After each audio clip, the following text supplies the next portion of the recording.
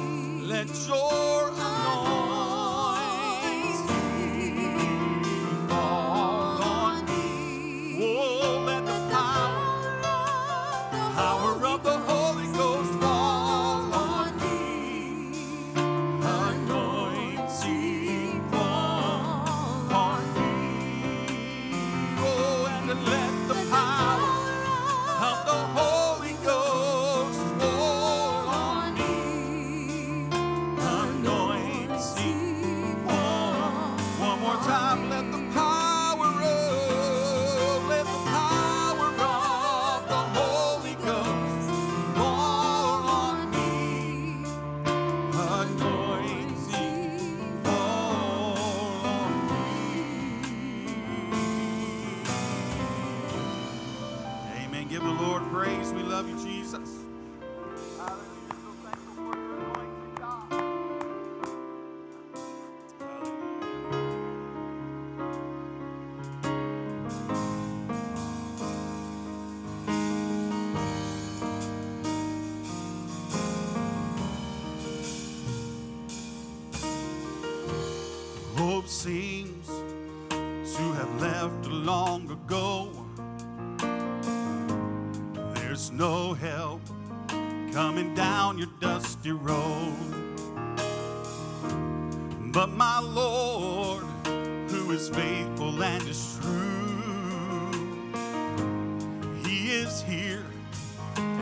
come to carry you. I know.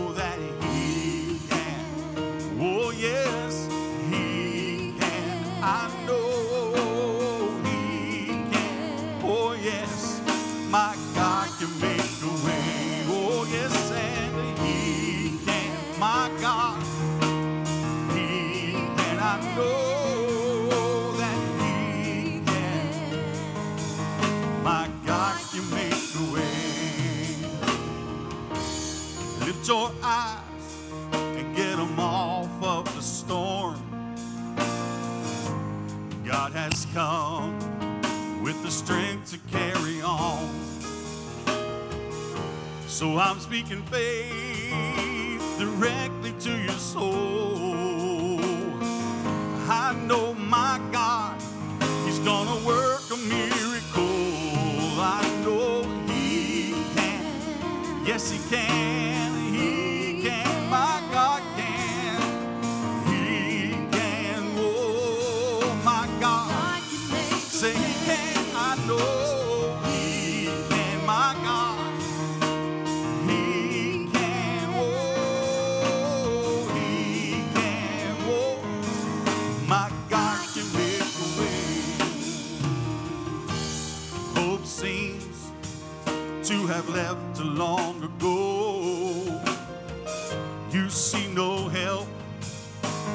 Down your dusty road.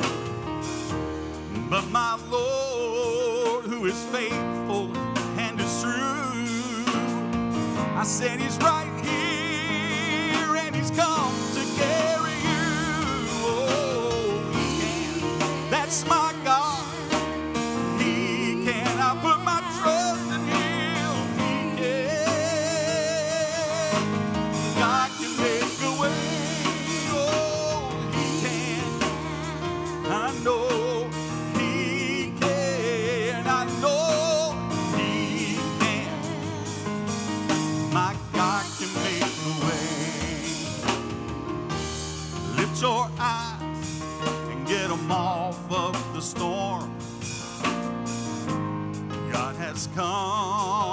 the strength to carry on. So I'm speaking faith, talking right down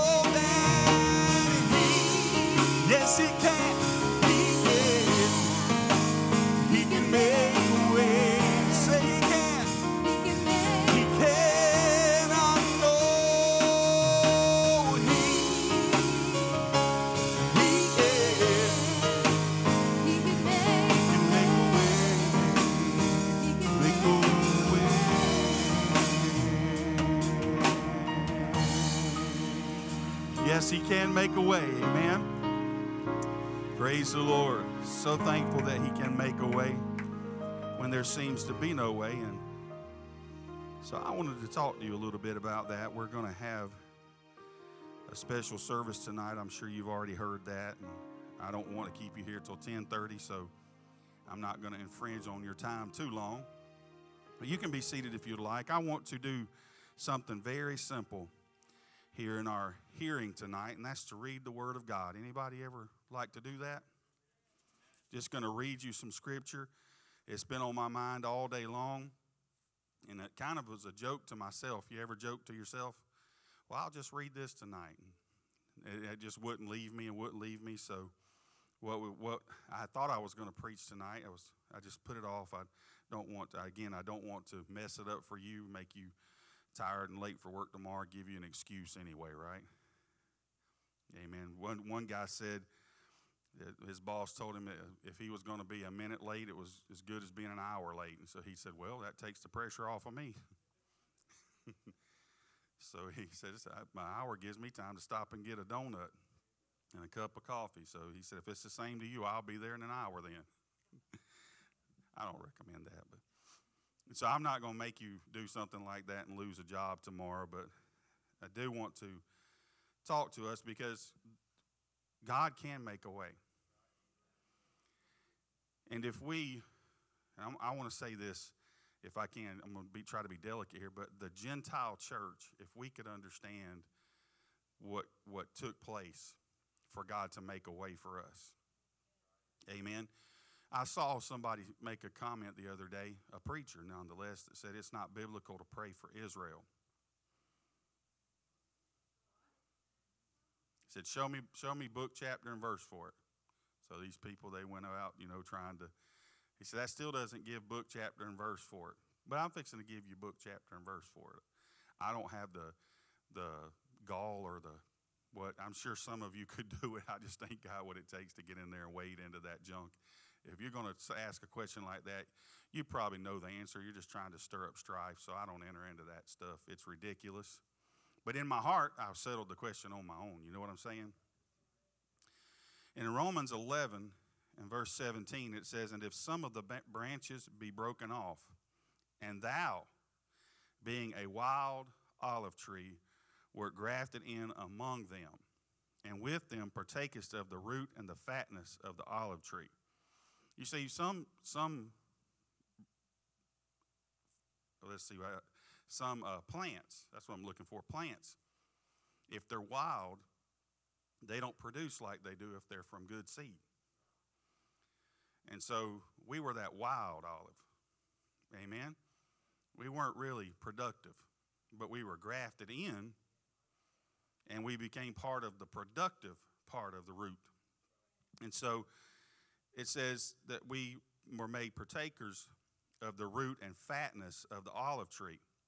Boast not against the branches, but if thou boast, thou bearest not the root, but the root thee. So it's, we should be careful about how we make our boast. And the Israelites did the same thing. And if you look in, even, even when uh, Jesus talked to the woman at the well, she was says, Well, our fathers worship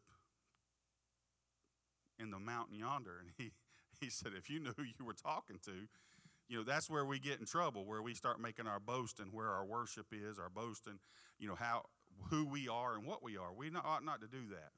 Be very careful. I believe in this end time that the Lord's going to have a revival that's really going to flabbergast some, some dyed in the wool, staunch, conservative, and all these other words you want to place on apostolic Pentecostal believers when they start seeing people that were wild olive that were that are going to be grafted in.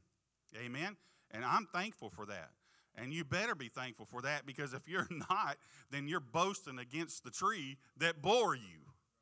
Amen. There's another. There's a, quite a few more scriptures, but there's another scripture that Christ that closely correlates to that.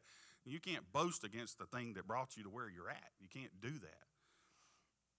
Thou wilt say then, the branches were broken off that I might be grafted in. So you're making your boast and say, hey, they were broke off, so make room for me. Well, because of unbelief they were broken off, and thou standest by faith. Be not high minded, but fear. For if God spared not the natural branches, take heed lest he also spare not thee.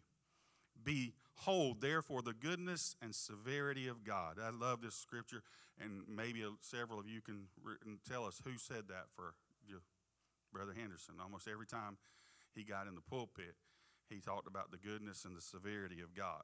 I'm just about to cry right here listening to it. But on them which fell, severity, but, but towards thee, goodness. If thou continue in his goodness, otherwise thou also shall be cut off. And they also, if they abide not still in unbelief, shall be grafted in. For God is able to graft them in again. See what I'm saying? You get your little self puffed up, you're going to get a bit upset when he comes in at the last minute and grafts them back in. Well, that ain't fair. I've been working all day long, and they're going to get the same reward I'm going to get. Let's just accept the reward we got and be thankful and say, Thank you, Jesus. I take it. I'm so thankful. Amen. If we can keep the right attitude about it, we can keep the right heart about it, we're going to be part of that. that, it stays grafted. But there are going to be those that I have a feeling that are going to be broken off because they're not going to accept those that are grafted in at the last minute. So we got to be careful.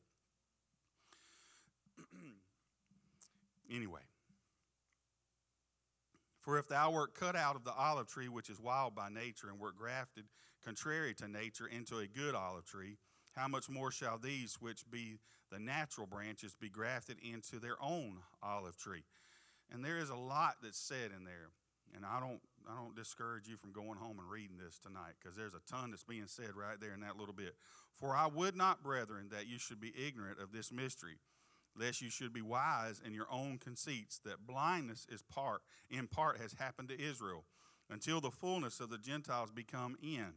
And so all Israel shall be saved, as it is written. But they are blinded for now, for our benefit. Somebody say, they're blind for my benefit. And thank God, amen. And so we don't boast against them. We don't talk against them. We, we should pray for them. That's just a principle that's all through your Bible. The Bible says let's to, and not just not that they despitefully use, but you pray for those that despitefully use you. You we don't get arrogant because we've passed the bar. Amen. Um, there shall come out for as so all Israel shall be saved, as it is written, there shall come out of Zion the deliverer, and shall turn away ungodliness from Jacob. For this is my covenant unto them when I shall take away their sins. As concerning the gospel, they are enemies for your sakes. They are enemies of the gospel. This is true. They are enemies of the gospel, but for your sakes. But as touching the election, they are beloved for the Father's sake. For the gifts and calling of God are without repentance. For as ye in times past have not believed God, yet now have obtained mercy through their unbelief, even so have these also now not believed, that through your mercy they also may obtain mercy. For God hath concluded them all in unbelief, that he might have mercy upon all. Oh, the depth of the riches both of the wisdom and knowledge of God, how unsearchable are his judgment and his ways past finding out. For who hath known the mind of the Lord, or who hath been his counselor, or who hath first given to him, and it shall be recompensed unto him again? For of him, and through him, and to him are all things, to whom be glory forever. Amen. Our job, our sole job, is to serve God so that he gets glory out of our life. It's not to make a boast of ourselves. It's not to make a show of ourselves. It's not to be made something. We're not, we're not, this wasn't done to us to make us special in the world, or, but it is set apart. Amen? So we have to be careful in how we approach living for God. And we should always look back and see the pit from where we were taken from, the rock from which we were hewn, because if we're not careful, we'll forget. And if we forget, we'll think we stand on our own merit. And I just said this this past Sunday that we should take heed that if we think we stand, because we better take heed because you're going to fall. So we should be very careful of that. So that's all I have tonight. I know that sounds very short and simple and sweet, but that is a boatload of information for you to take home and ponder this week. So when you think about the things that are going on across the pond, as they say, please remember that we share in this with them and they with us. That's another part of Scripture that's, that's brought out. We didn't get here by ourselves. Amen?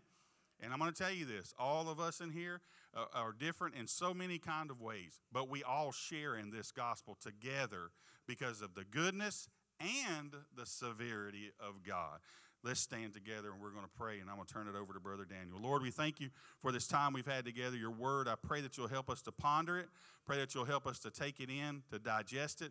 Lord God, I pray that it will take part in our being and help us, God, to consider where we have come from and the great and mighty acts that it took to get us here. We pray all of these things in Jesus' name. Amen.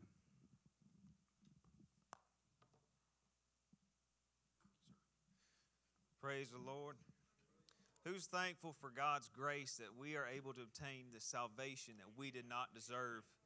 Amen. Thank you, Pastor, for the word tonight. Uh, I just want to say a thank you. Uh, tonight is our Pastor Appreciation Night and Pastoral Family.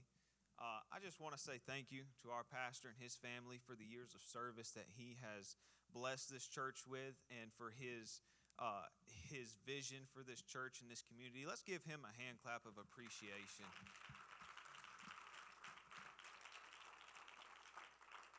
I do thank him for his impact on my life personally and uh, his involvement in allowing God to uh, to use me and to use me in this church and him trusting me uh, and growing me in in ministry. And I do thank him for that. It is a, a great honor. Um, so tonight we begin our festivities. I want to give a thank you real quick to Courtney and Ubi for their decorating skills and their uh, willingness to serve this church. And I want to thank them for decorating tonight's event. Um, so, real quickly, before I pray for the food, I just want to ask that uh, before we all go through the line, that we allow Pastor and his family to go first, and then we allow the elders to go after that, and then everybody else. And if you have kids younger than 10, please bring them through with you so that way you can monitor their uh, food plate consumption, not the consumption that they're going to eat, but what they put on their plate. Um, so if you could do that, that would be wonderful. So, real quick, let's pray for the food and then we'll begin. Thank you, Lord Jesus, for this opportunity, Lord, to come together in fellowship and to grow as a family and believers in Christ, Lord God. I pray, Lord God, that you'll anoint this time of fellowship and this food, Lord Jesus. I pray that it'll nourish our bodies and give us all a safe day and a safe week. Lord, I thank you. In Jesus' name, you are dismissed. In Jesus' name.